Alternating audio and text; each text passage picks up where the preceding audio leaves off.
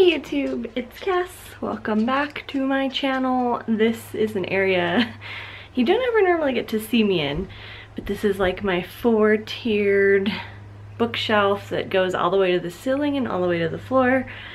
Um, and I'm 5'4 for reference. Hopefully everyone is doing well. I just wanted to do a quick, very quick, like what I'm currently reading, and then just a little mini book haul because I got a lot of goodies which one of them I'm already reading um, from a thrift store and I got all 10 10 or 11 books for $30 so that's a mega score for me. First we're gonna jump into what I am reading currently. JK first thing I wanted to talk about was I know I had started this bullet journal at the beginning of the year. I have like some videos up and stuff about it. You know, I had originally started out doing really good. Um, but along the way, uh, I stopped kind of using everything that I had in here. And instead I wrote like, this is now officially moving to my book review and reading log journal. So like all I've done, you know, consistently now for months is just like go over the books that I'm reading, just like quick reviews about them. So I am still, this is, this is the page I'm at now for um, May and then here's June's that I've started, but I'm just using my bullet journal now for like book recording, book tracking, book reviews, my own little book journal basically. So I know I had never given an update about this. I had never posted another bullet journal video. That's what happened with my bullet journal. It is now a book tracker journal. Yes. One of the books that I have yet to start but is gonna be a quick read is the Hilda and the Great Parade. I talked about this quite a bit in my um, everything I've read for the first half of the year. So I'm starting on book two in the novel it's basically the same as the series on Netflix if you've seen it or not. Um, highly recommend, my favorite animated series, but just a quick read, only like a hundred something pages. So this one will be easy. The next one I'm currently reading is The Wind in the Willows. Um, this was part of the bookstore thrift haul. And I have these little tabs um, that I use that like hold my space on the pages. I picked this up because of Emmy, and if I remember, I'll link her channel down below, but she did like this readathon, and she read this in there, and they kind of reviewed it and talked about it, and I saw it in the kids section, and I was like, sure, easy pickup, so reading this one as well. This one I feel like is going to be more of like a long-term kind of read. The next one I am actively reading is The Enneagram of Belonging, um, A Compassionate Journey of Self-Acceptance. I said this in my everything I've read for this year so far, but I've just really been going through some stuff and I'm still very much going through it. Um, and I've just had to learn a lot and my mind was blown. I listened to like a two hour podcast last night about the fawn fear response, which everything was so accurate and it explained so much. And it kind of caught me off guard a bit because I've done so many years of like healing and trying to process and work through my trauma that's like I remember having heard this at one point from one of my therapists but I never deep dived into it and then it came back around because of something that just happened yesterday in my life that was really dramatic um, so I'm just trying to understand myself better so I am a fan of zodiac and I guess like uh, what is the word I'm looking for? Astrology and all of that stuff. I find it rather fascinating. Um, again, always on the edge kind of about what I believe, but I picked this up again at the thrift store as part of the bundle of basically most of these books, especially the ones that I will show you in the book haul. Um, so I'm reading this one as well, but I'm not that far into it again. I put little bookmarks. But I knew my Enneagram, I guess, at one point, forgot it. Retook a test, which this book actually says tests may not be accurate, so we'll see. Like I said, I'm really not that far into it. But I so far believe I'm an Enneagram 9. Um, so we'll see. I just want to find other ways to connect with myself. Um, if anyone's aware of like the fawn trauma response, um, so much of it is about dissociation and disconnect from yourself. So that's like clearly is meant to be my main focus my main journey for this entire year. So I am really into all of these. And speaking of this, my next book is also helpful for that. The next one is The Body Keeps the Score. Um, I mentioned this as well, I believe, in the everything I've read so far for the year. I'm a little bit further through here, but not a ton. It's a really heavy read. It's a lot of science. It's just a lot of like information to digest. But I'm loving it so far. It's helped me be able to, I guess, connect things better so far. Like, I know this is this, I know this is this, I know why I respond this way, I know why I do this specific thing, why I feel this way type situations but bringing it back to the body and like how they all connect and how they all play a factor in your trauma is just incredible to read about. So once again, I highly, highly recommend this, at least to understand, you know, why certain things are the way they are. I think I am on chapter seven now. I think, I think, yes, I think I'm on chapter seven now. So highly recommend, excited to finish this. This, I feel like will be one that I will probably hold on to. Just like to be able to come back to it over time as well. My next current read is Competitive Grieving. Um, again, these little bookmarks in here and right here. Um, I'm only, I have the heart on the side where I'm actually at, so I'm on page 70 in here, so not very far. Um, this was a brand new buy for me. I wanted this since I heard it was coming out. I'm going through a lot of grief. I feel like that's pretty obvious. I've kind of like said that over and over um, just going through a lot of things. So uh, I feel like this is more of a light-hearted note of it versus like the body keeps a score, the Enneagram stuff, like therapy and all that stuff that I'm dealing with. This feels like a light-hearted fiction way of possibly understanding it from a different perspective. So we'll see how this goes. Again, I was really into this and then I started reading like The Body Keeps the Score and stuff and those real life things I really do connect with more.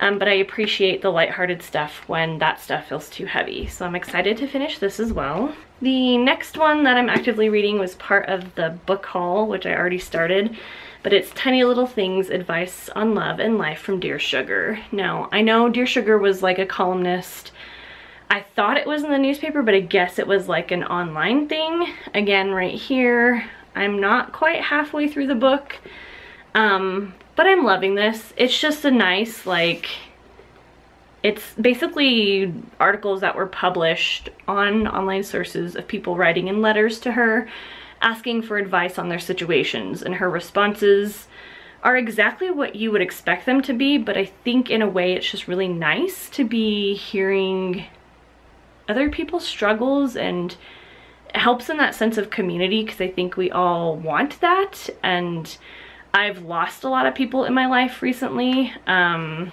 not through death but just relationships ending and moving apart. Um, and I feel like there were a lot of significant people in my life so I'm kind of like grappling with I feel alone and I need like my I need a community again um, so I'm really working on that in my life. So this kind of book currently is really helping me with some of that in a way. I guess it just like is more lighthearted in that way.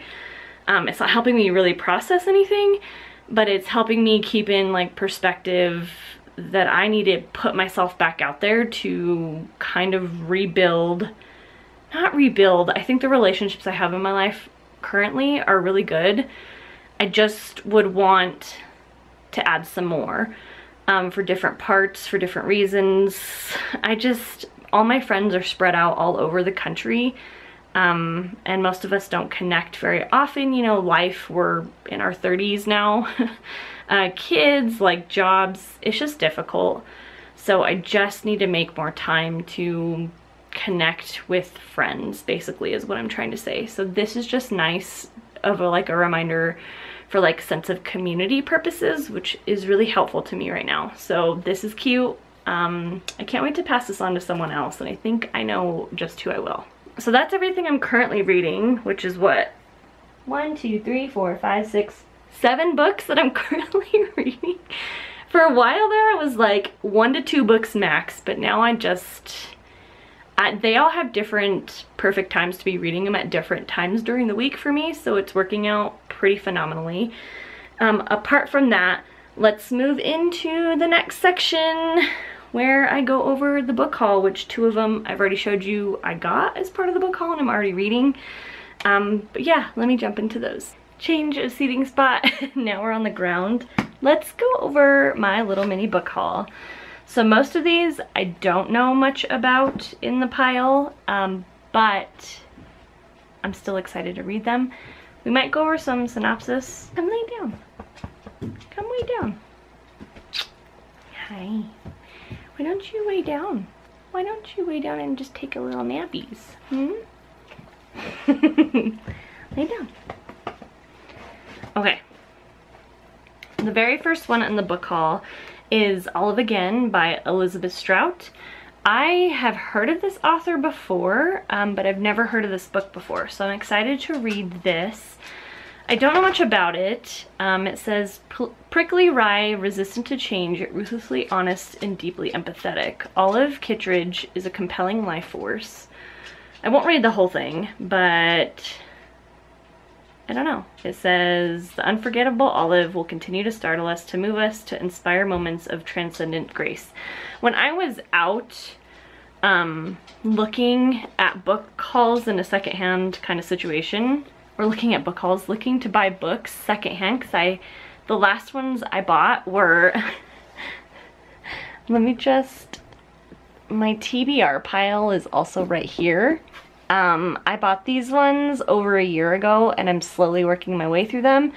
So I think, I don't think I did a book haul on them before, um, but this is like my pile I'm picking one from and then I'm obviously picking ones from the most recent book haul. Anyway, I digress. Most of the books that I've picked out were hardcover before this, um, and they were pretty thick. And so I really wanted to get some soft cover, like thin reads, all pretty much under 300 pages. Like this one's 270. So I think these will be easy reads.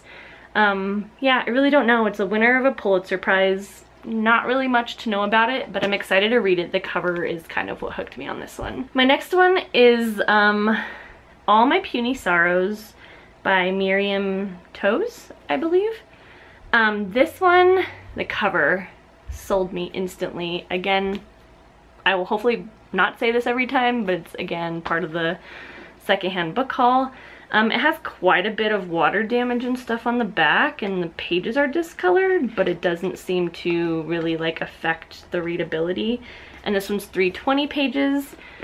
Um, but I loved the book, the look of the book, and then I read the back and it really like mirrors something that I've had a really close friend of mine going through um, and they've been leaning on me for support so I just wanted to read more about it even though this is um, nonfiction. Or no even though this is fiction um, I think it would just be helpful to read about something you know just maybe to identify a little bit more with what my friend is going through. But it says when Elf, a world-renowned concert pianist, attempts suicide just before an international tour, her sister Yoli must keep their family from falling apart while facing a profound question. What do you do for a loved one who truly wants to die?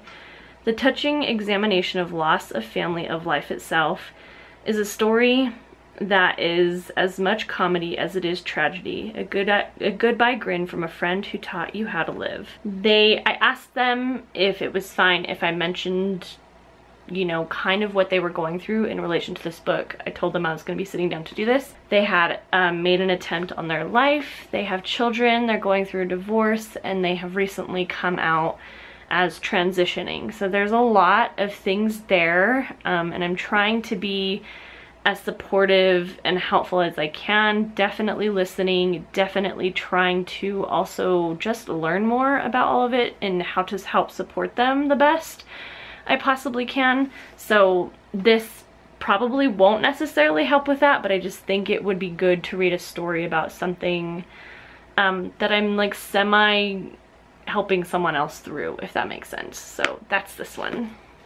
This might be my next pickup, I think. Once I'm done with, I think seven books is a lot to be reading right now. This one I saw on the shelf actually while I was just at Barnes & Noble buying a gift for someone. Um, and it's Jennifer Egan's A Visit from the Goon Squad. And it won National Book Critics Circle Award. Um, but this one says, Benny is an aging former punk rocker and record executive. Sasha is the passionate, troubled young woman he employs. Here, Jennifer Egan brilliantly reveals their pasts along with their inner lives of a host of other characters whose paths intersect with theirs. With music pulsing on every page, Visit from the Goon Squad is a startling, exhilarating novel of self-destruction and redemption, which this may not even be a surprise, which is what I said I'm going through in life in the first half of this, and what I mentioned in my first half of the books. I'll link that or card it somewhere. Um, but yeah, I, I want, I think it's like leaning into the discomfort. And there is something I find so soothing about that, even though a lot of times it, I'm process, it forces me to process things, not faster, just in different ways, which isn't a bad thing but I'm really like attracted to just fiction or nonfiction um, hearing more stories just about other people's struggles. Like, I'm 32, I'm gonna be 33 this year, and I, it, it kind of feels overwhelming and worrisome at the same time that like, I still am trying to figure out who the heck I even am and like what I like and how to not fall in the fawn fear response patterns of being like such an empathetic people pleaser so much so I don't care about myself um, and how much damage that's caused me through my life just with you know abusive relationships and just a lot of like toxic family and friend things and just life and I know everyone's going through this I know that I'm not alone in that at all um, but it just really pushes me or I feel encouraged to just continue to learn. Like I am going through a lot of very difficult things this year. Um, and it's been very hard for me. Um, it's honestly been a really big struggle and we're almost to the end of June. So it's been, you know, six months of this being sometimes several times a week of a topic that I'm having to process just with people and everything in my life. Um, yeah, so I have a lot of growing and learning to do um, and a a lot of healing. So I, I'm probably going to talk about that personal stuff for a while. Um, and you know, side note, really quickly, I started putting videos on YouTube in 2014. And since then, talking out loud, which I only started because of therapy back then, was the first time I'd ever been to therapy, and I think it was late 2013, I think, or early 2014 was the first time I'd been to therapy. Um, and since then, I've just, it's always been pouring out of me, and so maybe it feels a little dramatic that I still feel like I've, I've made so much progress, but I still have so much to learn. Um, but the fact that you know, some stuff just keeps being repetitive cycles, which shows me that I, I need to change more things, um, or I need to learn something new, or I need to continue to remove situations from my life. But anyway, I'm probably going to talk about that a lot because of just my history on YouTube, my history of being more open and honest about my feelings and my life throughout YouTube. And I've removed a lot of videos but I have a lot on there that I don't necessarily align with anymore either. Um, but they were all parts of my journey. And I think sitting down and talking, getting it out, rewatching, it gives me a different perspective so I definitely want to continue that. I realize it makes me too much for a lot of people like I'm a lot for a lot of people and I respect that if a lot of people, I, I make them uncomfortable and that's not my intention. Um, but I'm just, I'm very vocal about what I'm going through. So anyway, I digress. I'm excited to read this. This feels like something I wouldn't normally pick up, but it was right next. All these books were pretty much on like two shelves and they all just felt like the right books to grab that day. So I'm excited to see what this is, see where it goes. The next one I loved for the cover is Commonwealth by Anne, I don't know if it's Patchett or Pichet. Um, I don't really know much about this. I do know that it's like a collection of stories, if I'm correct. Um, no, that's not this one. That's a different one. This one, I will just read the very bottom of the synopsis since it's like the whole page in here, but just a quick uh, total with equal measure of humor and heartbreak, Commonwealth is a meditation on inspiration, interpretation, and the ownership of stories. It is a brilliant and tender tale of the far-reaching ties of love and responsibility that bind us together. Which, like, yes, please, I will take that all day. So I'm excited to read this. I'm actually hoping I can get through most of this book haul pile before winter, because a lot of these really feel, except for Olive Again, that feels like a fall book but the rest of these feel like summer, so I want to get through them. This next one is The Language of Flowers by Vanessa Diffenbaugh. Um, I have heard about this and I was so excited to find this. I don't know specifically about the book much, but I have a friend um, who is on the East Coast that runs a flower farm with her mom. Um, and she has taught me so much about flowers and like the fact that flowers can mean different things to someone who knows about them of course but that they somehow were the right thing to give to the right person at the right time if that makes sense um so she's taught me a lot i've asked a lot of questions she's been so wonderful to just answer things and help me um and this goes even into like if anyone knows who rachel metz is um, again, if I remember, I'll link her. She's a DIY channel, but she for a while on Instagram has had like the hashtag of buy yourself the damn flowers, um, which I've done for a while now. And knowing the meaning of flowers, it's like I'm buying them for myself in like a self-love romantic way, I guess if that makes sense. Anyway, let me read this because I think it's important. Um, Acacia for Secret Love, Daffodil for New Beginnings, Wisteria for Welcome, and Camellia for My Destiny is in Your Hands. In Victorian times, the language of flowers was used to convey romantic expressions. But for Victoria Jones, it's more useful in communicating mistrust and solitude. After a childhood spent in foster care systems, she is unable to get close to anybody, and her only connection to the world is through flowers and their meanings. Now 18 and emancipated from the system with nowhere to go, Victoria realizes she has a gift for helping others through the flowers she chooses for them, which I just love. But an unexpected encounter with the mysterious stranger has her questioning what's been missing in her life, and when she's forced to confront a painful secret from her past, she must decide whether it's worth risking everything for a second chance at happiness. Which just like, does that not sound like a great book? And then I know back here, the very back, which I love this, it's Dictionary of Flowers. So I'm gonna pull this up here, hopefully you could see. Through these pages, it just talks about the different flowers and like their meanings that they can have, which I just love. I dream of being an old lady having a flower farm now because of what my friend's done, because of what she's taught me, because of the significance that flowers actually can have, because I want to buy everyone flowers and I love gifting them, and because they can have meaning. Love it, love it, love it. Cannot wait to read that. This next one is actually the collection of stories. So this is Birds of America by Lorrie Moore. Never heard of it. This is the only hardcover I bought. I almost put it back um, but I read the synopsis um, and it's a collection of different stories. Um, but the very bottom of the synopsis says, in what me, words, in what may be her most stunning book yet, Lorrie Moore explores the personal and the universal, the idiosyncratic and the mundane, with all the wit, brio, and verve that have made her one of the best storytellers of all time. So I, like I said, my understanding is this a is a collection of stories through people's lives. I don't know much about it, um, but I don't think that's a bad thing. So I'm hoping to read this maybe end of summer, early fall as well. A lot of these books, like I said, felt very summer. The next one I picked up is In the Woods by Tana French.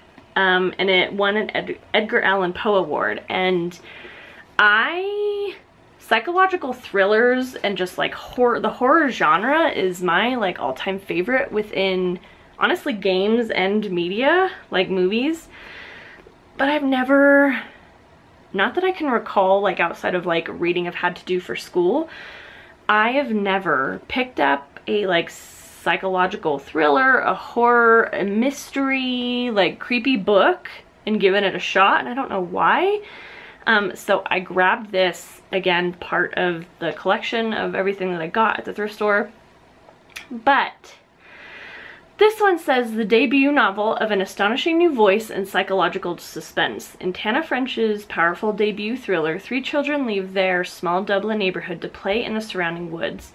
Hours later, their mother's calls go unanswered. When police arrive, they find only one of the children gripping a tree tr trunk in terror, wearing blood-filled sneakers and unable to recall a single detail of the previous hours.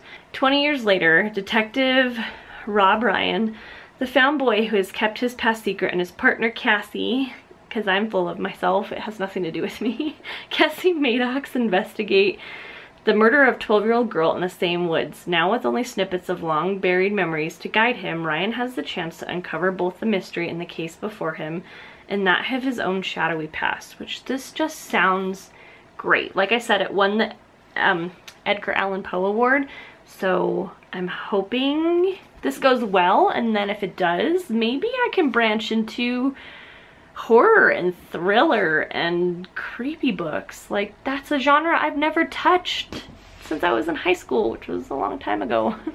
so we'll see. I have high hopes for that one. This next and last book that I picked up um, as part of the book haul from the thrift store is Moonwalking with Einstein, The Art and Science of Remembering Everything. And I'm sorry if I mentioned this in the last one for my first half of the books of the year, um, it'll be three years ago this August that I was involved in a head-on collision. I got a TBI, um, se severe like post-concussion syndrome. Just a lot. I'd done over a year's worth of speech and cognitive therapy. Like I have all these things that I've worked through to try to help maintain my memory. I'm getting ahead of myself. Basically, I severely lack and struggle with short-term memory. Um, so I saw this, and again, it was on the same shelf as these other books, and it just felt like the right thing to pick up after I read the synopsis, so I will read it for you. It says, while researching an article on the USA Memory Championships, Joshua Forer was equally dubious and intrigued by one contestant's claim that even an average memory like Foer's, if used properly, could win the event and after a year of memory training, he found himself in the finals of the same championship. Under the tutelage of mental athletes, Fo FOER, so I think Fo Foer, learns ancient techniques once employed by Cicero to memorize his speeches and medieval scholars to memorize entire books.